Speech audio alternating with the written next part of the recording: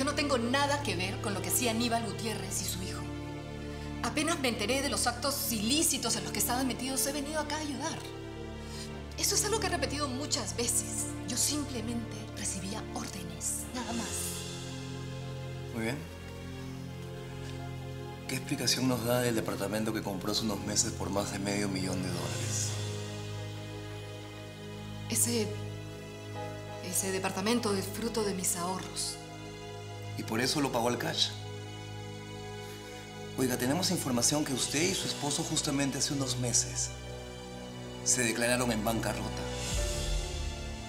¿Cómo pagó el departamento, señora? Ese... Ese departamento fue...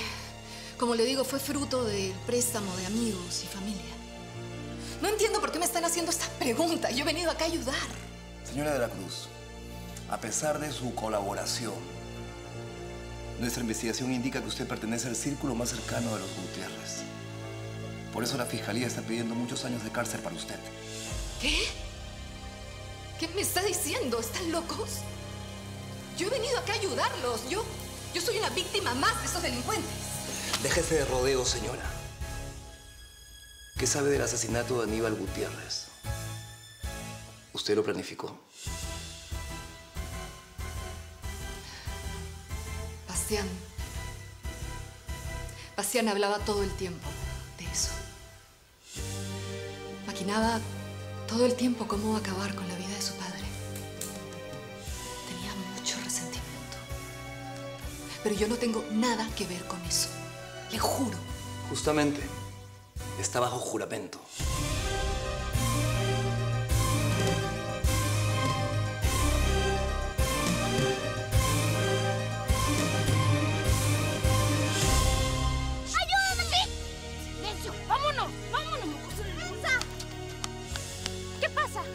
¡Au! ¡Ayúdame! ¿Qué pasa, señora?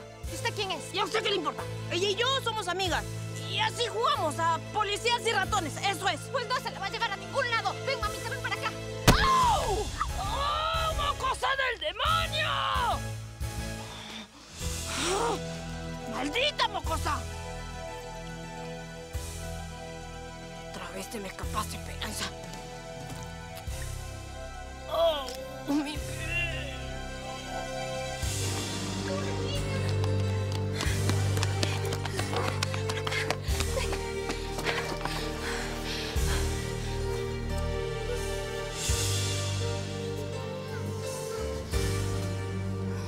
¿Estás bien, niñita? Vamos. Esperanza. Corazón, me preocupé mucho. ¿Estás bien? Felizmente la vi, señora. Una señora que apestaba, la estaba jaloneando. Era la mala tecucha. ¿Cucha? Esa señora es muy peligrosa. Yo jamás hubiera permitido que le pase algo a la niña Esperanza. ¿Pero por qué te saliste de la casa? Eso no puedes hacerlo, eso es muy peligroso.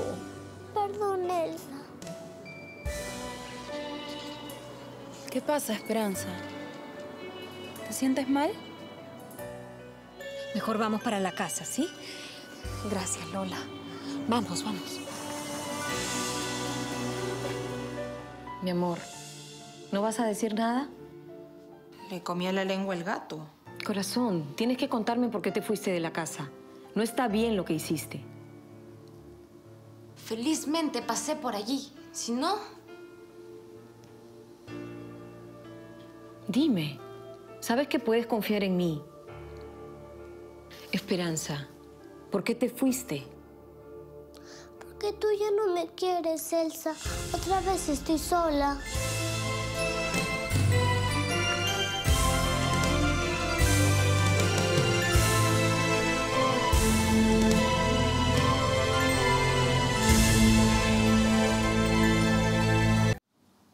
Mi amor, ¿por qué dices eso?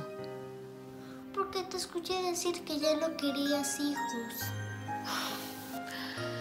Ven acá, mi amor, ven. Yo no me refería a ti. Yo a ti te adoro, tú eres una hija para mí. Sí, Esperanza, tú eres parte de esta familia, de este hogar.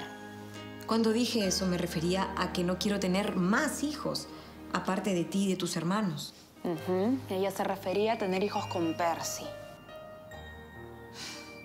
qué? No quiere tener hijos con Percy si él es bueno. Yo sé que él es bueno, pero no por eso vamos a tener hijos. Bueno, esas son conversaciones de adultos. Tú eres muy chiquita todavía para entender. Ay, mamá. Esperanza se las sabe todas. Entienden todo estos chicos. Sí, yo sé que ella es muy inteligente, pero aún así son temas de grandes. Así que anda a tu cuarto. ¿Por qué? ¿Estás molesta conmigo? La verdad es que sí.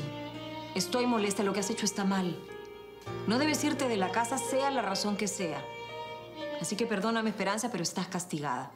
Anda a tu cuarto ahora a pensar en lo que has hecho. Perdón, Elsa. No fue mi intención que te molestes. Más que molestarme, me preocupaste mucho. No lo vuelvas a hacer, por favor. Está bien, no lo voy a volver a hacer. Anda a tu cuarto. Si no es una cosa, es otra. Menos mal que vine a visitarlas. Sí, Lola. Gracias. Quiero ni imaginar lo que hubiera pasado. Tenemos que estar muy atentas con ella, ya saben.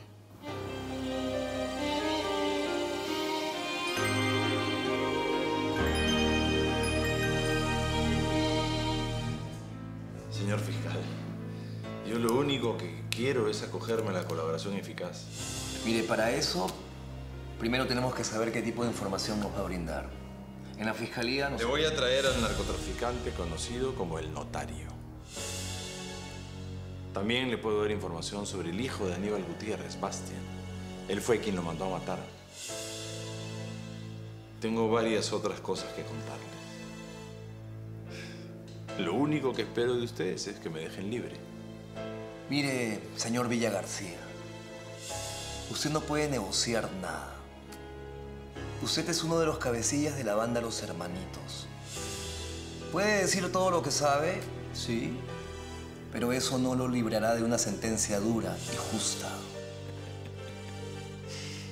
No se haga, fiscal. Yo conozco perfectamente mis derechos. Está bien, tranquilo, tranquilo. Mire, va a tener un juicio justo. Y de ser culpable, pasará sus buenos años al lado de sus compinches. Usted dice esas cosas porque siente odio. Claro.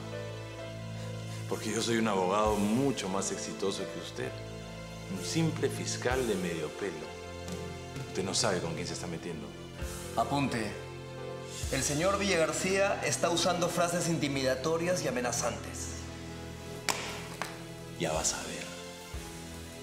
Yo soy Rómulo Villagarcía. Esto no se va a quedar así. ¡Guardias! Llévenselo a la carceleta, por favor.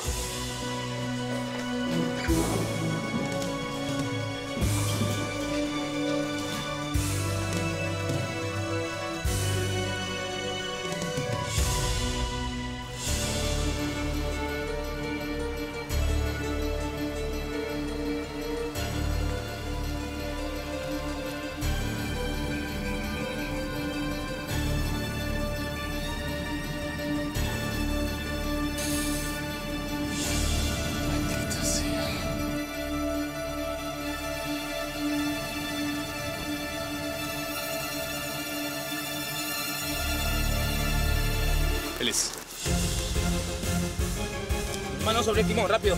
¿Qué, es lo que he hecho, jefe? No entiendo. Bájese. ¿Qué, qué es lo que he hecho? se escapó. ¡Rápido! ¿Me puede decir lo que he hecho, por favor, jefe? ¿Por qué me estás?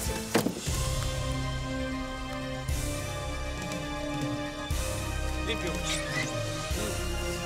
Bastián Gutiérrez queda detenido por la investigación que se le viene realizando por los delitos de narcotráfico, lavado de activos y asesinato premeditado. ¿De qué está hablando, jefe? Creo que se han confundido de persona. Ah, avanza nomás. Usted no sabe con quién se ha metido, ¿no? Todos los corruptos dicen lo mismo. Vamos. Póngase a llamar a mi abogado, por favor. ¿Quién? Rómulo Villagarcía. Mejor búscate otro. A ese ya lo agarramos. Avanza. Ah.